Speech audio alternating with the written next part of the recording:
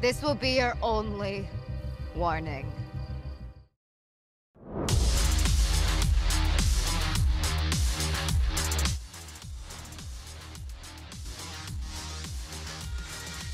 You know, as much as these director's cuts are getting out of hand, yeah, I could get into this. Last week I was talking about the messy and convenient plot of Falcon and the Winter Soldier, especially with how they brought in Zemo and Sharon Carter. You know, as much as I wanted the show to go in some dark places, I'm kind of happy that it's just going to be like zany and fun and um Ooh.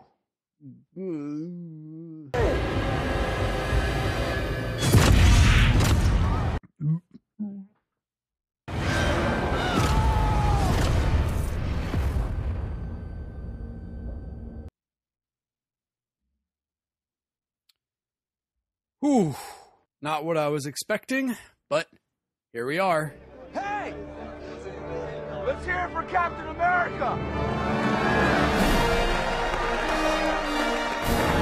Hello, my name is Brandon, and welcome to another spoiler review for Falcon and the Winter Soldier. This time for episode 4, arguably the best one of the series. So far. This is also supposedly the episode right before the one that's supposed to make us all cry, which I don't really know where else they could go, seeing as how I was crying in the first five minutes. Anyone else? Just me? Cool, cool, just me. All right, cool. The opening of this episode is an example of why I love these Disney Plus Marvel shows so much. It's allowing us to delve deeper into these characters that otherwise wouldn't have been given the spotlight. First with Wanda and Vision in WandaVision, and now with Sam and Bucky, especially Bucky, seeing part of the time that he spent in Wakanda recovering from his broken, brainwashed mind. And everybody in this show is absolutely on point, but Sebastian Stan especially is killing it. I've said it before, but Bucky has always been displayed as a character that we're supposed to care about, but never actually showed us why we should care about him, except seeing his importance through Steve's eyes. This show is allowing us to finally fall in love with this character that for the longest time we were just told that he's important. Damn near bringing tears to my eyes almost every episode now. This opening sequence also sets the stage for how Wakanda plays a role in this show, sort of acting like the through line, kind of like how Black Panther was in Captain America Civil War. Part of me thinks that this sequence initially intended to have Chadwick Boseman rest in peace, but given that it's Ayo, it paints the picture that Bucky is in some massive debt to Wakanda for treating him and damn near saving his life. And the fact that he broke Zemo out of prison, you know, the person that killed King T'Chaka, it's no wonder that the Wakandans and the Dora Milaje feel betrayed. So their involvement makes sense. It doesn't feel forced. Them coming after Zemo later on in the episode feels warranted. And of course, their instincts point in the right direction and attack John Walker and Hoskins too. This is one of the many differences between Steve and John Walker. At least Steve respected royalty. The Dora Milaje don't have jurisdiction here. Not to worry. I have a permit. This just says The Dora Milaje have jurisdiction wherever the Dora Milaje find themselves to be. I think we got off on the wrong foot. Activate instant kill!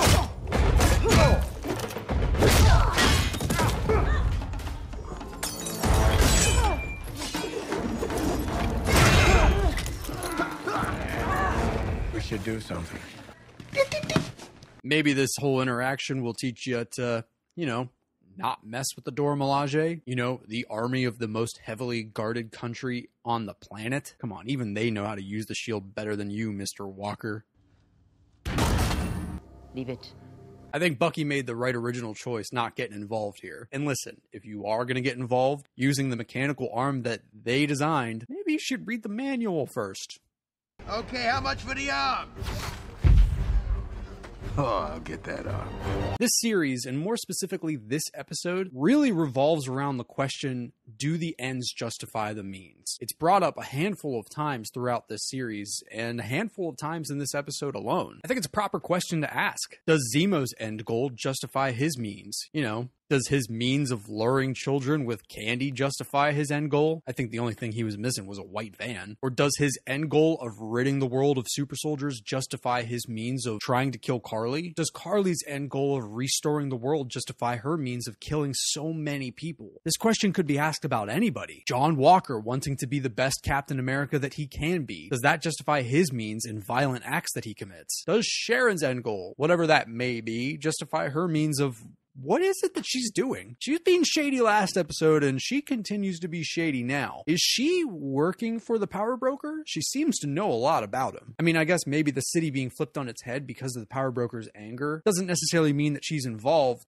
I'm not going to say it, but she's involved or she is the power broker. I mean, that would be crazy, but what are us Marvel fans if not crazy? I am really hoping that's not the case. I hope they don't pull another Ralph Bohner on us and have Sharon be the power broker. What a big reveal. We literally just did this song and dance in WandaVision. Who is Ralph? We haven't met Ralph yet. Get it. Just come on, give us a new character. You want to tussle again? Hmm? But all of these characters and their different motives intersecting with each other and clashing against one another, it's so fascinating to me that the lines between hero and villain are really quite blurred.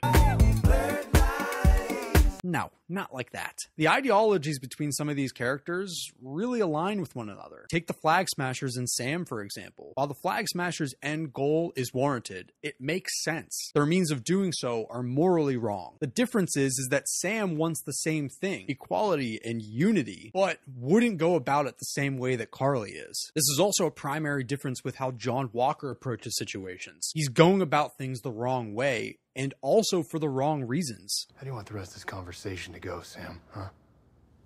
Should I put down the shield? Make it fair? At the end of the day, it's to fuel his ego, to make him feel like he's doing a good job at being Captain America. But what kind of symbol like Captain America does the America of today actually need? I didn't think there could be another Captain America until I met you. Now, back then, there was just good and bad. But the world's more complicated now. People are lost. They need a leader who looks like them, who understands their pain. Someone who understands that today's heroes don't have the luxury of keeping their hands clean. While he's describing his perspective of Karli, he's also doing a good job at describing Sam, another way that Sam and Karli's ideologies align. That shield has too much bad history and too much bad blood on it, literally, for it to be represented as a symbol of hope in this America. Because while Steve Rogers embodied that hope and optimism that America needed in the 1940s, America is different today, and unfortunately, Zemo even said it best. But there has never been another Steve Rogers, has there? Every attempt at recreating Captain America has gone horribly wrong. Take Blonsky, for example, in The Incredible Hulk, or even Bruce Banner himself, or any of the Super Soldiers or the Winter Soldiers. Bucky might be on the right side now, but for 90 years was used as a weapon. Even Isaiah Bradley's experiences with the serum resulted in an innocent man put behind bars. There's always some sort of negative result or horrific outcome from recreating these super soldiers. The Flag Smashers stealing the serum and John Walker's recent decision to take the serum are just the latest example. The super soldier serum enhances everything that makes up a person. Inherently good, like Steve Rogers, becomes exceptionally good. Inherently flawed, like John Walker, well, Bad becomes worse. If it wasn't clear before, this episode solidifies the differences between Steve and John, and also John and Sam. Because a strong man who has known power all his life may lose respect for that power. But a weak man knows the value of strength and knows compassion. Whatever happens tomorrow, you must promise me one thing that you will stay who you are. Not a perfect soldier, but a good man.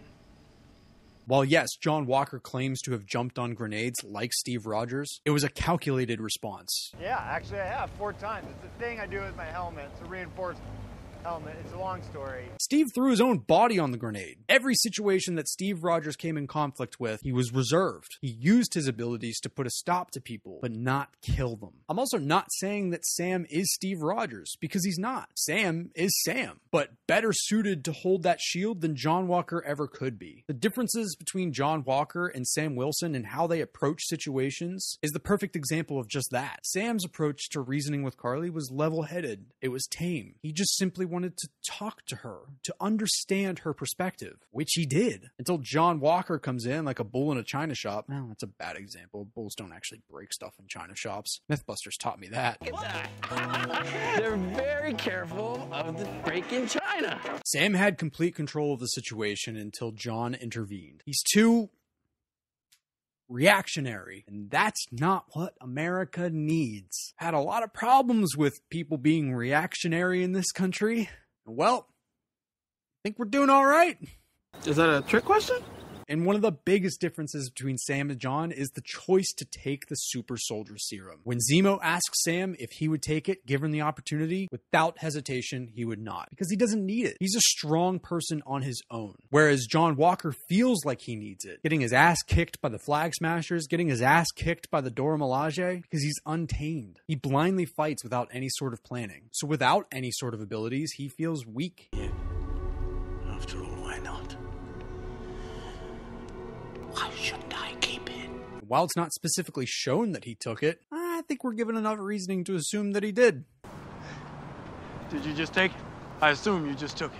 While John Walker paints himself as the hero, he is one bad day away from becoming the villain. And this was that day, with Hoskins, his trusted ally, and the only person that was trying to reason with him, dead. I don't agree with it, but can't say I'm surprised with how he reacted. And this final big difference in parallel to Steve Rogers is Steve knew when to stop.